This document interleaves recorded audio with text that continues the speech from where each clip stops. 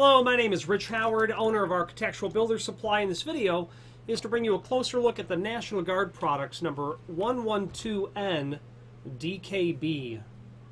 This is a, uh, well, they call it, it's a door bottom, uh, is what it is, certainly. This could also be used, uh, first of all, it's a door bottom. It will mount to the bottom of your door, go between the bottom of the door and your sill is basically concealed uh, when the door is closed or open, regardless. Unless you get your head down on the floor and look, you're not really going to see any of it.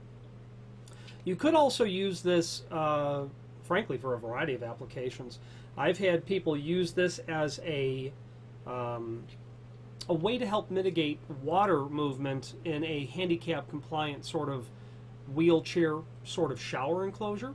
You could certainly use that as an astragal if you tipped it vertical, if, you're, if the space between the doors would allow for that. Um, I've also had people install this down onto the top of a double hung window when they want to help seal in the summertime when they put that window unit it, uh, window unit in. They want to be able to seal that a bit better. I've also had, oh, and by the way, that person put it below as well and had the unit sit on top of it. I've also had people use it to help seal between the truck cap on your pickup truck and when they set it down onto the bed of the truck.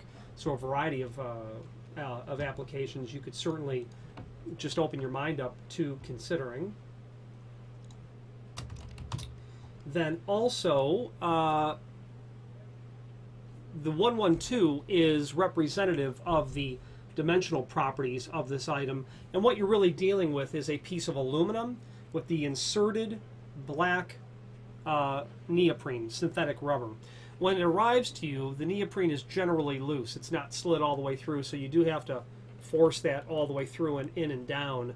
It is, uh, it can be a chore to pull that through, um, especially if it's a seven foot sort of length. Uh, but nonetheless, uh, it does have to be loose so that you can get to the screws that are behind there. Let's go over the dimensional properties of this item first.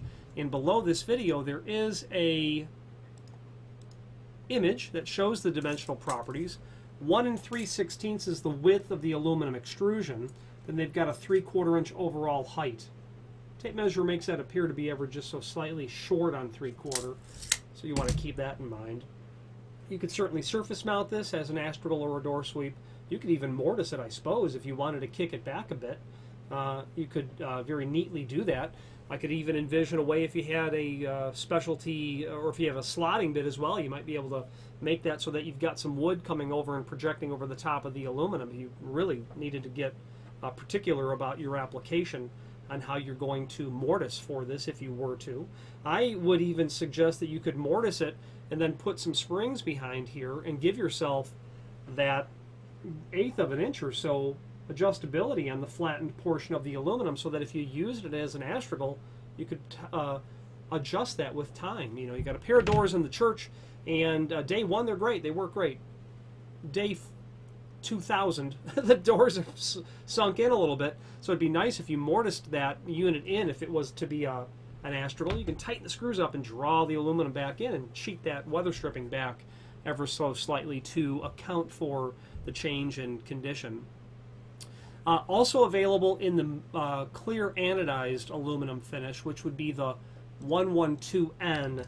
In absence of the DKB, you're going to get the other finish. And I just said clear anodized. I was wrong. It's mill aluminum would be the other option on this. And speaking of other options, there is a link below this video to a document called Product Brochure that will allow you to review this and some of National Guard's sister products to this. U-shaped door bottoms of a couple of different profiles with and without drip caps. L-shaped door bottoms as well. Very handy document to have access to from National Guard. Now, with this video review, you've got two finishes and it's listed in the website in about 12 or 15 lengths, 2 foot to 8 foot four inch increments, two inch increments, six inch increments, whatever it is. Um, if you have need for a custom length, simply indicate in the comment field the net length that you'd like for us to cut the material back to. The reasoning is because we can supply it to you already cut to length very easily, very happily, not a problem at all. Uh, the, the, the, why you would want that, and it's just aluminum, so you can easily trim that. Uh, however, if you were to take this happens to be a two foot piece because this restaurant has pairs of two foot French doors along their dining area. However, if you had 18 inch doors, and that's very common as well in a master bedroom, uh, uh, the coast of California, beautiful homes, pairs of one foot eight doors.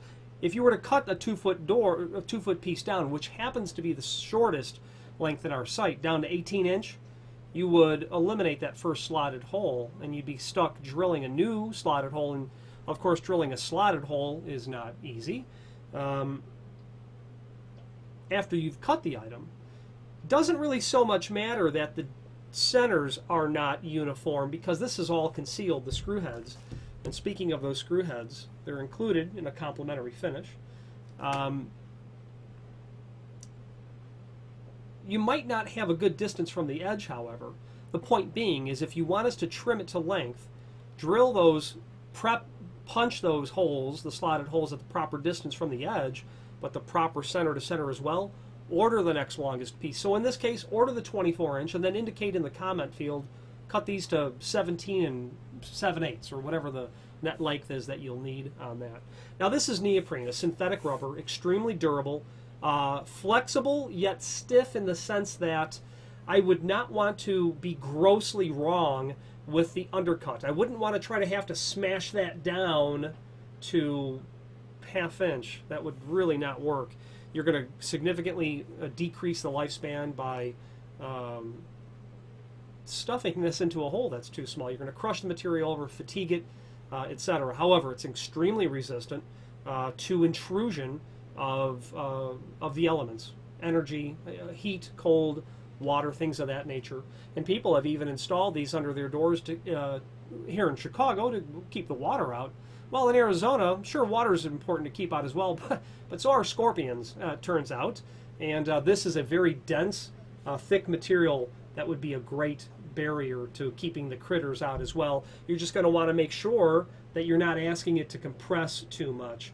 I would really like to have myself not certainly not more than an eighth of an inch and, and not less than a sixteenth of an inch contact.